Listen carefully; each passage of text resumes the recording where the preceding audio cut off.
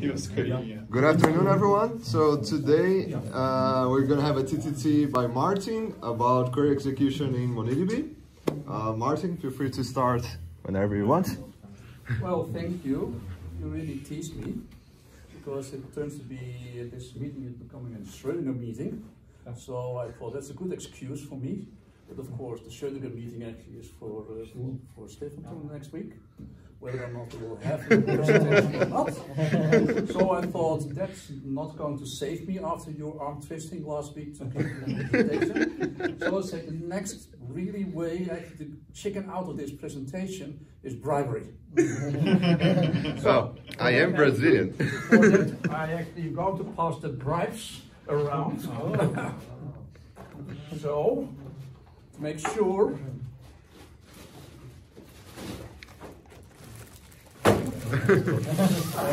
so please attack. Have you printed out the 10 month best presentation award? yeah, I think Martin is a great candidate for it. you shouldn't have elected a Brazilian for the TDT.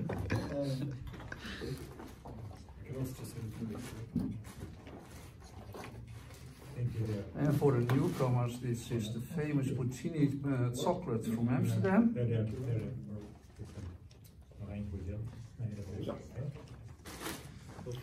But of course I cannot bribe you with actually gifts which is not mine. yes, I go, go on, please. Don't have it. Uh, no, no, no, no, that, that's, and, and, and, and Martina and uh, I have more. Yeah. So of course I cannot bribe you with something which is not mine, because this is the yearly complement of uh, the for all the contributions you have given this year to the progress and the improvement of MonetDB. Thank you. Maybe the last year. so uh, it's about uh, excuse MonetDB. You really squeeze me because that's of course the, uh, I hadn't did not prepare any talks, so after you squeezed me, I had to find an experiment run experiments and try to give you at least a few little lessons of this old guy. So let's start with actually this one. Um, this is uh, running in various instances, uh, starting with July 2017 up to like the current situation. That's running on one of the simple workstations we have on the other side, i7 4 core 32 gig memory, and as you may notice that at least the code is not standing still at all. It's actually improving actually with big strides as you go along. And where are you coming from? A plethora of issues. Most importantly, changing in the way we do the algorithms. Changing the way we deal with candidates, the materialization is, is being dealt here. Rewriting actually the query optimizer in, in, in various, uh, various ways. So we see a continuous likely decline. This is the end? No, absolutely not. I know already by uh, uh, looking at the details of where the performance is being spent. My current estimate is the next target is around 180 seconds on scale factor 100. And it has to do with finalizing candidate list propagation into, for example, arithmetic, arithmetic expressions. So we don't have to materialize there either. Running primitives against compressed data, which is not yet in there. It will come in the next release. So this is not the bottom line. So this is where we are. Well, how does it compare with your other favorite systems? Of course, I didn't try out DuckDB because I don't think that's fair. Yeah. Well, I could do, but then of course the first number would be around one minute. But this is better. Um, so let's look at something actually others have done here in, in the group a couple of years ago and take, let's say, an eight times more powerful machine, a 32 core machine, SSDs, enough memory, and that's luckily that's, uh, come on, that's reported in this 2014 SIGMOD paper of, amongst others, Peter. He didn't compare MonetDB at that time, of course MonetDB would have done worse. But if you would like to calculate, please calculate the factor between a 4-core machine and an 8-core machine to understand roughly where we are. I would say, with all respect, these are three different systems with three different uh, collections of technologies. But uh, Mona is not doing too bad. Not at all. Okay, so now you challenged me to do some, some experimentation and tell a little bit about MonetDB um, internal workings. Well, unfortunately, I have to apologize that, of course, uh, um, uh, the majority knows the details. And for those which are new, I will just give you some hints and some lessons why things were actually being done the way it is. So I took this little query 6, that's an easy one. Yeah, It's a very easy one. It has purely scans and some arithmetic in there and some aggregation. So this is really one of the, the, the, the trivial examples in, uh, in TPCH. You all have seen it, hopefully. Now, what's going on here? If we actually apply this to MonetDB, then we can run experiments.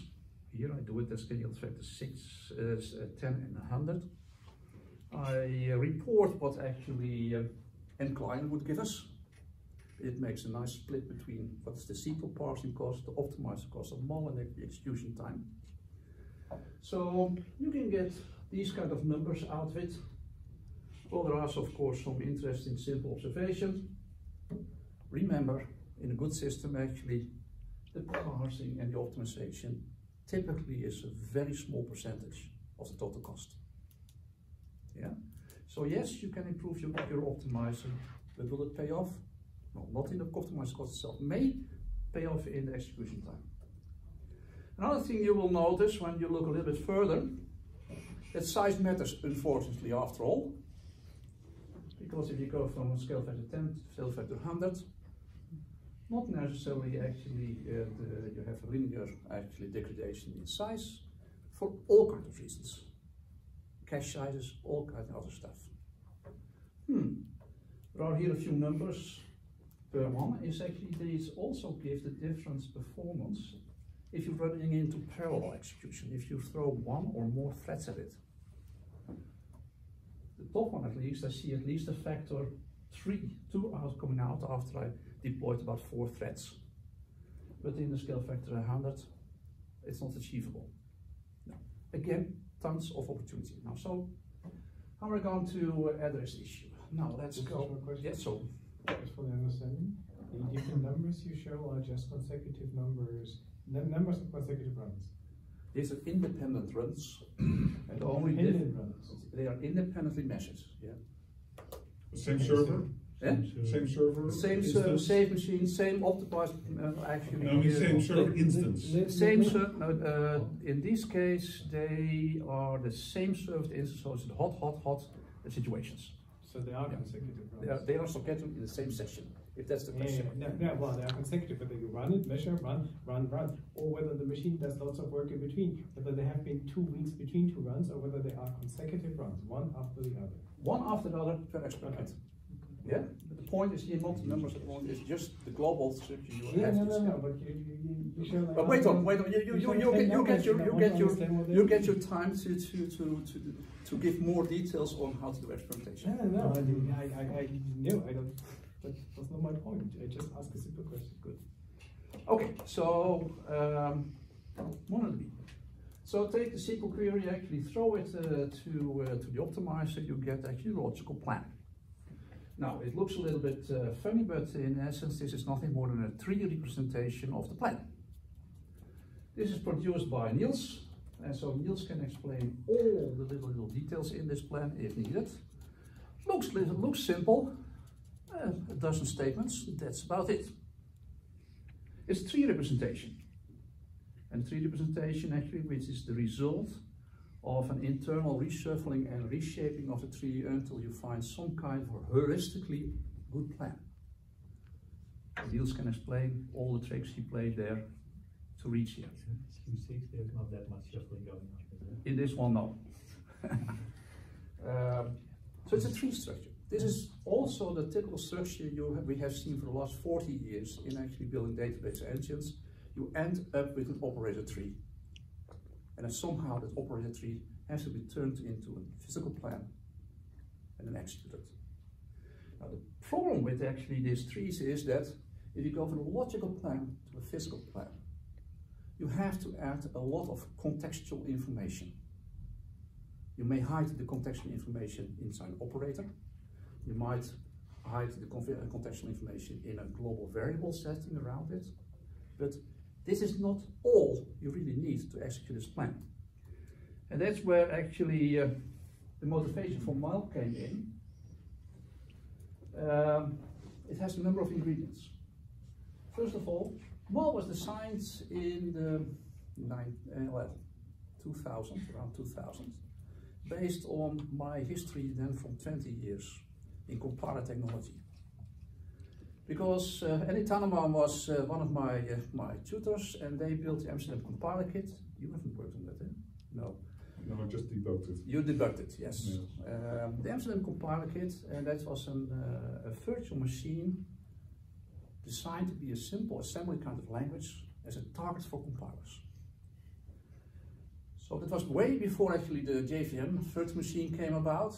And it's in that context that I decided, yeah, also for databases, you need some kind of a virtual machine to abstract away what's going out of compilers and what can be easily interpreted afterwards. The second part is that um, if you have a machine kind of language, then perhaps you can apply compiler technologies, do all kinds of optimizations. Well, if you don't have a machine like that, then you end up actually with a tree-based structure where perhaps you have all kinds of properties, and I've seen many examples in the past where people were doing that. And then you have to drag them along through the tree, play around with it. Well, actually, you're mixing a number of issues. You're mixing logical optimization, resource management, and execution control. That's what it was done in the 80s and 90s. And I decided actually to get it out. Last but not least, actually, already for my first system, I always made sure that there is somewhere in the, in the system, there's a textual interface a textual interface where it becomes easy to actually analyze little experiments, monitor and, and, and debug without the hassle of going into a GDB kind of setting, then understanding a big complex tree with all kinds of pointers. I would never try to debug actually uh, Niels's uh, SQL intermediate structure because it would be a real pain. Agree? No. he knows the way. So, so in designing an architecture, it's good to understand that there are different components and somehow actually make proper hooks so that it becomes easy to, to, to analyze. Now, so this uh, simple query, this logical plan, is turned into a MAL plan. And this is half of the plan of that uh, query 6 uh, and I've colored here it a, uh, a little bit. Uh, each instruction, each line is one more instruction, one simple assembly kind of instruction. But the yellow parts are those which are directly related to the logical plan, doing a relational operator. What's not colored, that's all circumstantial information you have to take care of, one way or another. For example, you see there a number of SQL bind operators, which says, okay, I want access to a certain column somewhere. Yeah? You can hide it in an operator, but then it's a black box. By making it explicit, I can later actually associate it with a SQL bind a completely different implementation to get, it, get the columns from somewhere. The red parts, or the, the orange parts, are, have all to do with the storage management. So how you access and where you access the various pieces to, to, to execute the plan. The gray part is something uh, which is also important. That's all things which relate to concurrency effects. Never assume that your systems runs alone, the query runs alone on your system. There are concurrent users which interfere with your query. Again, you can hide it. This gray part has all to do with determining the proper version against which the query should be run. You play, if I'm correct, the more Postgres approach by hiding version information in the underlying store and chasing the underlying store for the proper version if needed. Sure, yeah. Yeah? Mm-hmm. That's the same as Postgres does. That's in the early days I've kicked out for the very simple reason that every Postgres record has at least 64 bytes overhead. And yes, it could lead to long chains, and it requires factory. That's in Postgres. That's in Postgres, well, but just, just I put it a little bit in perspective. So it's what that scene, which I didn't like at all, and get it out. Now, of course, getting the, the right version is tricky. Uh, up till recently, we actually collected all the objects, all the tuples which were still valid. But recently, actually, Sjoerd and Niels turned it around by only actually getting a list of negatives. And that actually makes things much better. But anyway, we continue. So this is this half of the plan. The other half of the plan is this one. Uh, again, there you see some results of these calculations, which are now being explicit, calculating the, the interval timings. You don't have to make it explicit. You can nicely hit in your optimizer a constant expression evaluator, of course. But again, then it becomes black box behind an operator. There are here two red lines. This is the actual code produced for 36 at the current MonetDB system. And there are here two projections in, which are marked dead code. Uh, in later phase they will be thrown out. But it reflects something which we made a very conscious decision in, in, in, the, in the optimizer. If you take a SQL query tree and you're going to play around it, you duplicate part of the trees. Uh, sometimes you actually would like to produce code because you cannot look ahead too far or you have to retract back into your plan to make it all consistent. We decided, in principle, dump code. Don't look too far ahead if not necessary. It may lead to code which in the end will not be used. And once that post processors will immediately determine that actually these two projection operators have a result which is not consumed by anything, so they can be moved out. So that was a conscious decision to pollute your plan initially with things which you didn't know. That was also an, an, um, a result of an old anecdote. In uh, I was recalling the uh, EM uh, compiler kit of Andy Tanenbaum. And um, I made a bet with him a day before Christmas. Uh, gee, that's a uh, compiler kit was, which was designed for procedural languages. And I said, well, I can build you a basic um, front end on top of it in, in a week time. And I did on on New Year's Eve, I sent him an, an, a postcard uh, produced by a basic interpreter on his compiler kit. But the interesting lesson basic of course is not procedural. And one of the things I in, injected there is just generate garbage on the fly if needed. And only at the end of a stack frame when you come back, then remove all the garbage.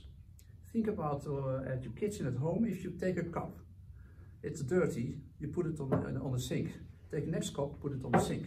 You know? And only once in a while, throw out the, uh, clean it up. So don't be afraid to, to immediately clean each cup, but collect actually dirty stuff to a later stage. So, small lesson in this respect, um, a little bit rough material is fine. So this is the, the this is nothing more than a direct representation of the logical plan in the following sense that it represents the data flow of all the little tasks which has to be taken and executed to get to the final result. So an execution plan is a data flow graph. Now that gives immediately the opportunity that how are you going to resolve a data flow graph? Well, in this case, are a lot, each line uh, determines a dependency in the sense that one operator needs multiple inputs from others and it cannot actually be executed unless that's available. Uh, so yes, you probably start here with one worker. Uh, but at this level, I may have perhaps even multiple workers being active. So the number of parallelism depends on the breadth of the graph. In some areas like here, when this task is being done, Well, I can immediately go to this one, this one, and this uh, until here. So this doesn't require any actually queuing uh, activity because the same thread can take until it's blocked, and then that work can go on. So it's all about actually creating these kind of graphs. And this is a simple graph to play with. So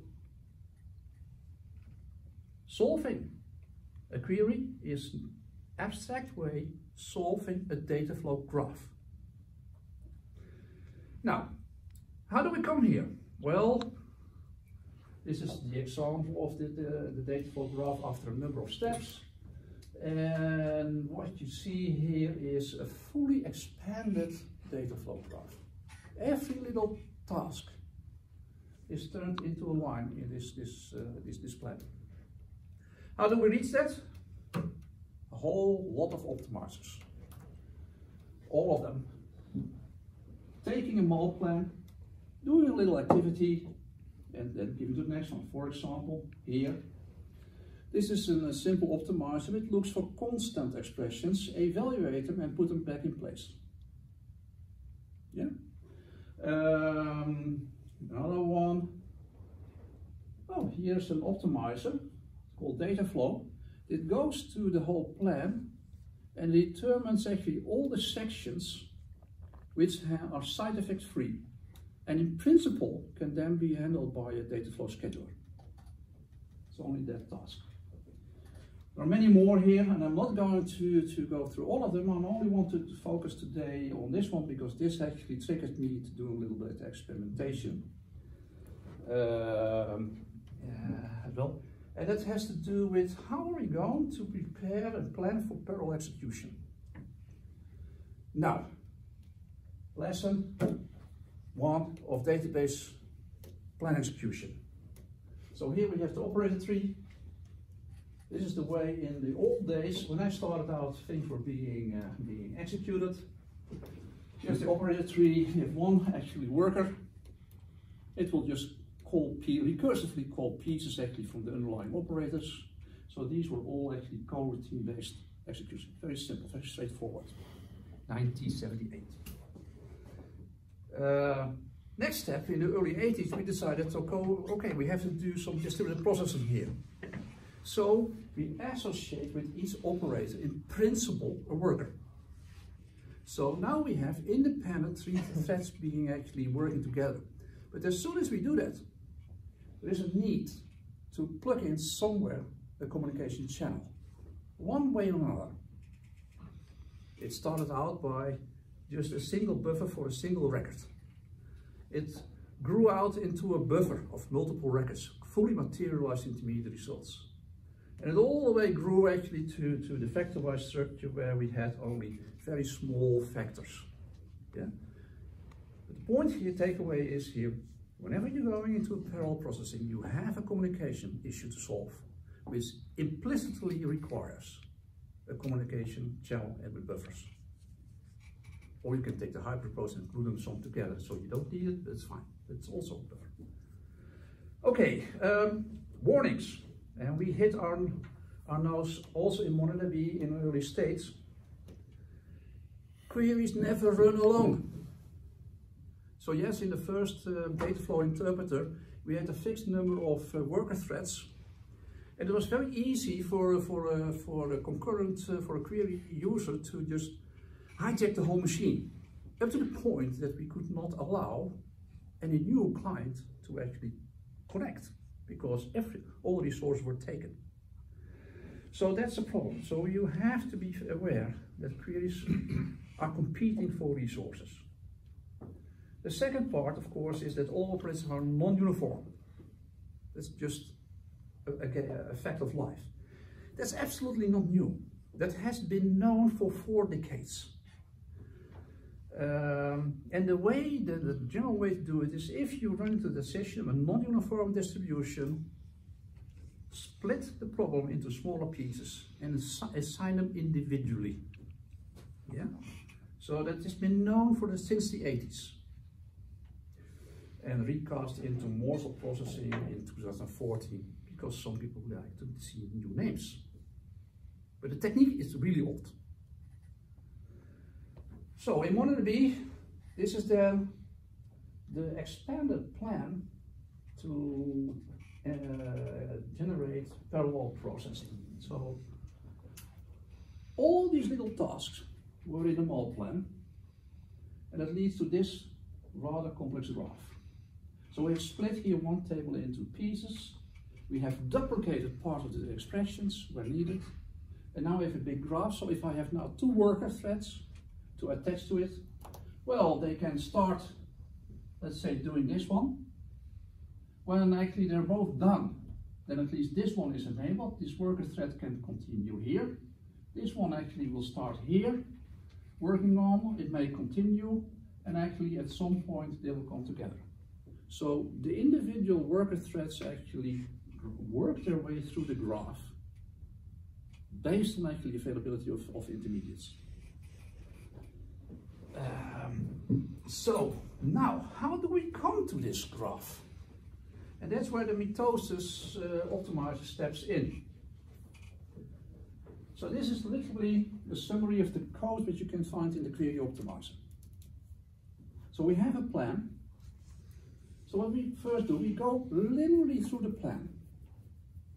Find the first table, the, we find the largest table in the plan being referenced. Hey, that was looking for SQL binds. It was all explicit. It's there. And within actually the plan, take the first column. Only the first column. Don't look what's going on, just take the first column. So now we have identified one column, which is the largest table. Second one, look around how many active users are there. Because they are my competitors. Determine how much memory we have. And then we are going to split up the memory into chunks, small pieces. So we partition the memory by defining it with a number of active users. So every active user gets a portion of the memory.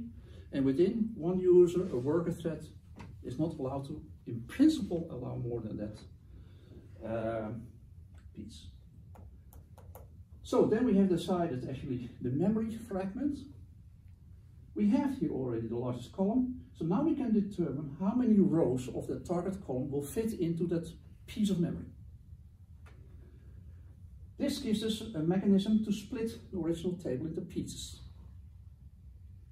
Now, then we of course have to partition the database, the, the table into pieces. Now, in MonetDB, that's a zero cost operation. Very nice. Well, then other optimizers step into the play, into the game, and uh, make sure that uh, uh, the plan is unrolled, and in the default case, the number of workers actually is set to the number of TDK, uh, number of threads uh, to play around. Oops.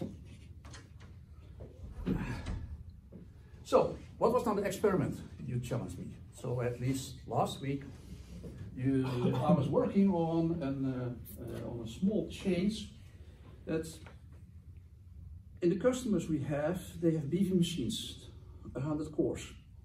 When you don't want to have a single query actually to hijack everything, you probably want to chop up the resources.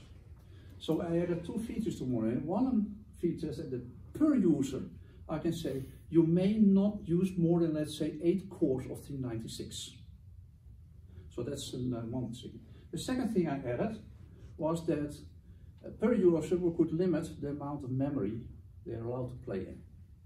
Now, that last one I uh, twist it around and I use that to make a slightly change to this algorithm.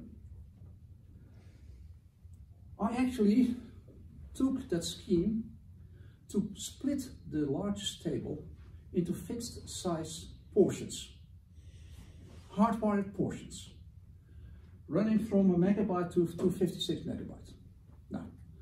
So that means that one of these columns was actually quote mortalized into pieces and then actually the whole plan was being executed. And uh, from this simple change, I made uh, the large experiment. So the same machine, simple, the same simple machine, optimized build in the current default for production, only looking at hot results, looking at uh, the three standard scale factors, changing the sizes of what is the Morse size, uh, and variate the number of worker threads. Now I made a change here to the SQL uh, scale factor as of 100. I didn't go all the way down to one megabyte portions because plans are being unrolled. So you can imagine that the execution plan become large. Even if you go to scale factor one and uh, let's say a one megabyte, you end up with a MAL plan which is about three million lines of code. Yeah?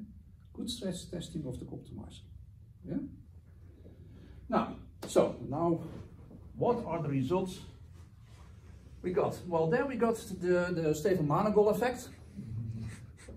So you end up with a plethora of, of results. So I have about 28,000 uh, experiments being run and now trying to digest it. So what I'm now going to present is the first digestion. And probably it needs at least a week to further diving in into the details. But these were the results um, obtained so far. So let's go. Query 1, scale factor 10. So changing the block size. Uh, changing the number of workers. It's a pattern what you expect. The pattern what you expect is that uh, if you take smaller block sizes here, you get a better performance than they are large, probably caching effects and all that kind of stuff. You see that as I throw in more worker threads, things are getting faster, but up to a certain point where the additional gain is marginal. So this more or less what I reflected. The dotted lines here are the, the execution time of the, the heuristic uh, mitosis approach, just as a frame of reference. So, not too bad. We miss some obvious good improvements, but it's not too bad overall. Another one. Martin, what's the y-axis? Millis uh, this is my uh, milliseconds. But still, you would hope here a linear scalability. But I know, you will get more, you- hold on, you get more pictures. And I, I, and I have 40, uh, four more pictures. Good. no, very well. So, and if, if, if you really want, I will throw actually the whole results at you for analysis. So, uh, scale factor 10, query 6. Well, that's a known behavior, but the weird behavior is, well, it's, it's, it's a good behavior, that's what you expect, nothing spectacular. Uh, but block size doesn't uh, have a big impact. So let's look at a slightly Sorry, different. can sorry. Why is it so slow when you go to like the really small block size in Quiz 6? Yeah, that's a good question. It seems like it's factors 8. That's a good question. I will repeat that, uh, that same question in a minute from now. Because I looked uh, slightly different picture. So here I have all the experiments uh, organized by worker threads. So how many worker threads are actively uh, doing the work? And here in color coded actually the size of the, of the buffer size. Uh, with all respect, I'm not 100% sure that I didn't make a mistake in the in the in the graphical layouts, Just to, but just this is mid-flight result, yeah. But what was in the red line was the average over all actually uh, sizes being considered.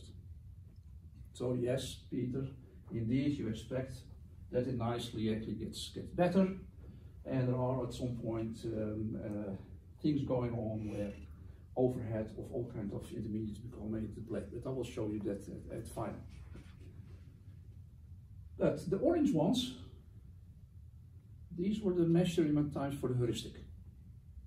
No, not too bad, I would say. At least that I was pleased that it was not uh, too far out. This was, okay, the black points was the smallest block size, one megabyte, roughly like that. This was for the big ones, 256. Now, first, first interesting point is, hmm, the spread is way too far for my, for my, for my pleasure. So the block size choice had a reasonable sizable impact. So that was a point of further study later on. Hopefully somebody will do that after me. But th- th- these shows seem uh, not the same as in the slide, sorry, uh, that you showed originally, because there I was kind of figuring, so what was the best block size, and it seemed to be a bit in the middle, actually, the best block It's, it's, it's indeed. So there is there is yes, Peter. Yeah. Yes, yes, yes. Not the smallest one. No. Yeah. Well, um, So here's this, this one, if you look here, one, if uh, I, I can show you later on, I will show you the, the, Okay. the full graph. You can see the details of the experiment. But it- there's at least a point where you start thinking, hey.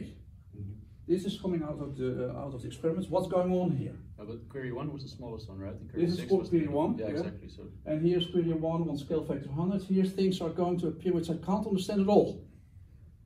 Yeah? Well, leave it for the moment, uh, except by I'm not so pleased with the spread of these sizes. Um, things got a little bit worse when I compared query 1 and query 6. Because the colors are reversed. Hey, that's what I didn't expect. So in query 1, small actually chunks were very good. But in the other one, small chunks were the worst you could pick. No clue why. Yeah? So that's a starting point for good research. Why is the morsels of this kind of chopping actually has so effect and why things seem to change with query by query? So I might actually have an answer for this. Good. because I Then you can write a proper paper. Uh, so the reason that this is so different is because, of course, Query 6 has a much higher uh, selectivity, which means that a lot of tuples get filtered out. And because the parallelization and such happens at compile time, is not taken into account. So what happens is a lot of things get filtered out and threads have like very imbalanced works. This is just an, yeah, could be. Because I, I realized this before when I was uh, running the Python UDFs, and if you have like a filter that filters, say, the first 75% of the table, mm-hmm, mm-hmm. and you split it four, Okay. it still means one thread does all the work. But now, the, of course, the underlying question is now if you're going after a morsel structure, mm-hmm. when and how are you going to decide on the size? That's that's that's the question behind it. So yeah,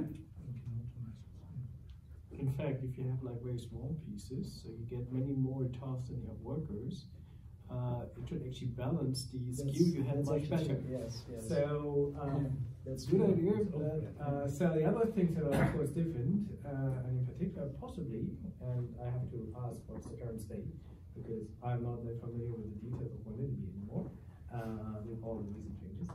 Um, so these queries are next to the fact that this the selectivity, well, what the queries share is they're single table queries, they're join free queries.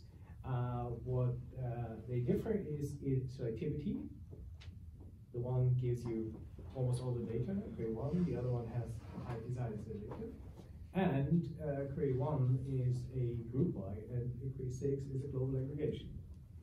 Um, what does MonetDB do in terms of parallelization on group by queries nowadays? There were times where um, we did not parallelize it because group by Both, both, both of these are parallel. was a parallelized. So the the the One group by partial aggregation and full aggregation. Okay. Two steps, two.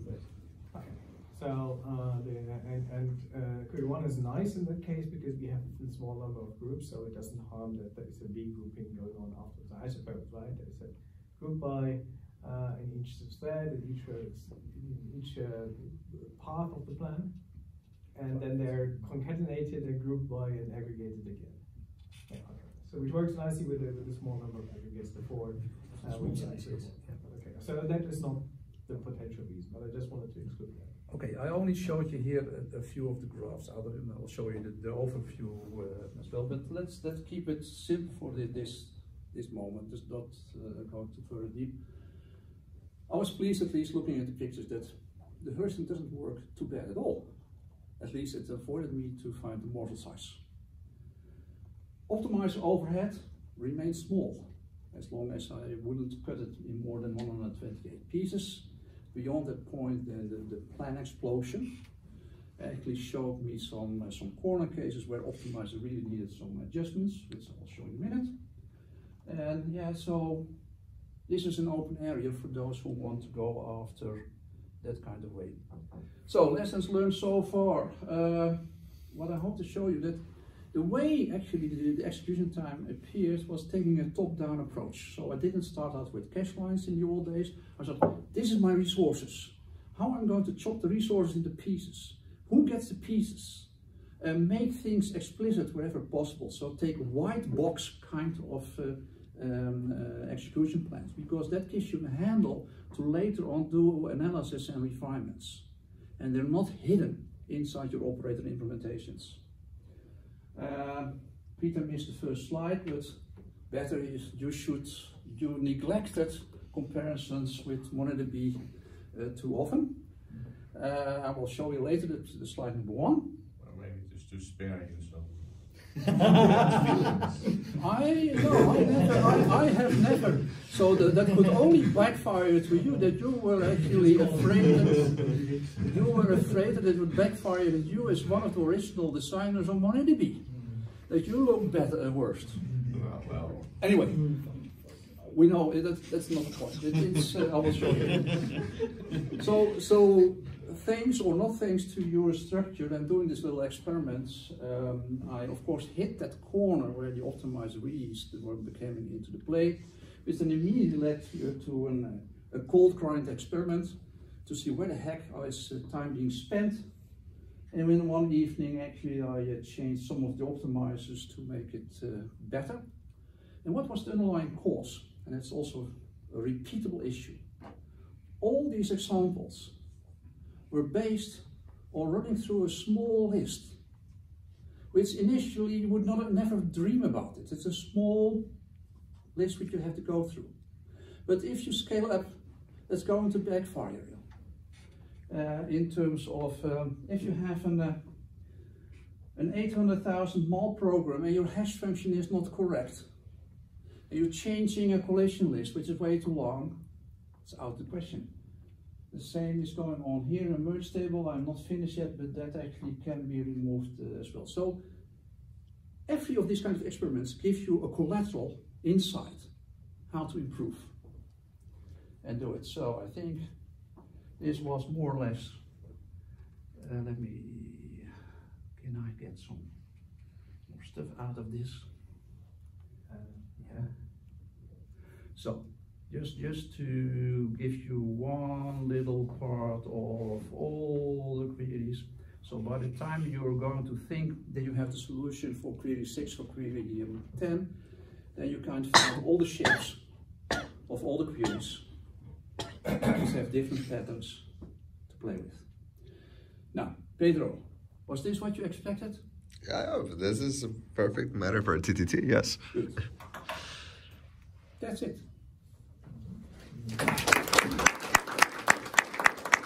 So if anyone has um, any questions to Martin, uh, uh, Stefan, please.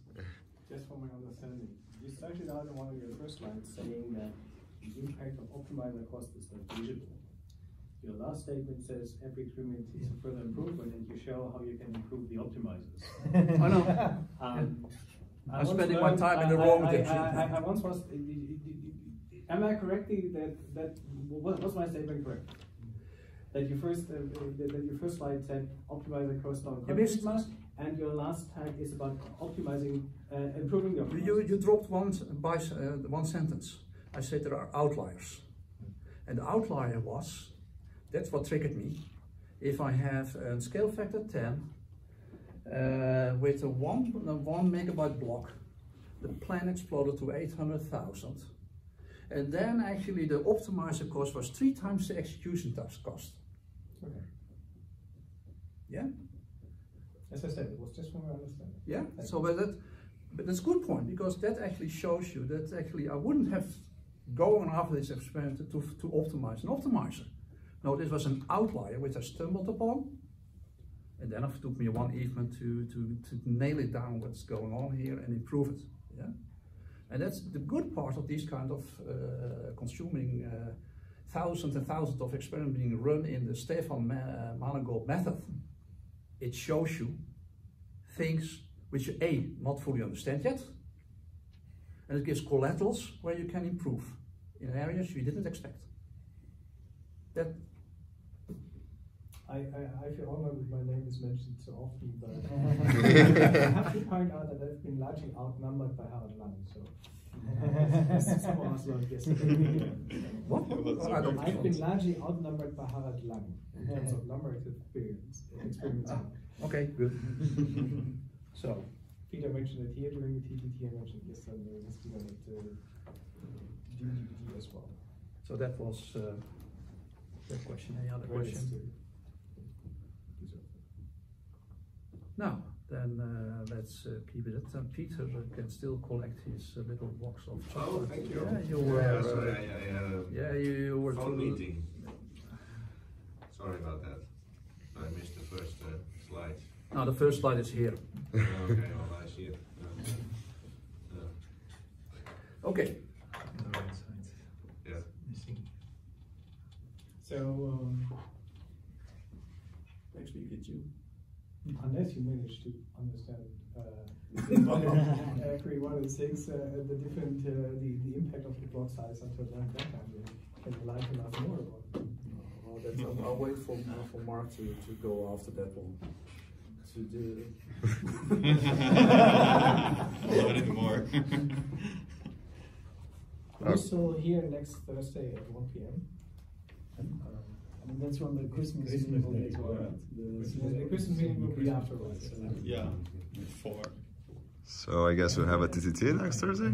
I'll, uh, I'll have to think of something that's that's important. Because we don't have time on- I mean, I guess it's also fine just to postpone it for after the New Year's. I will, uh, if, if everybody's here, we'll just make a Schrödinger like very, uh, Okay, cool. or just a, a spontaneous decision.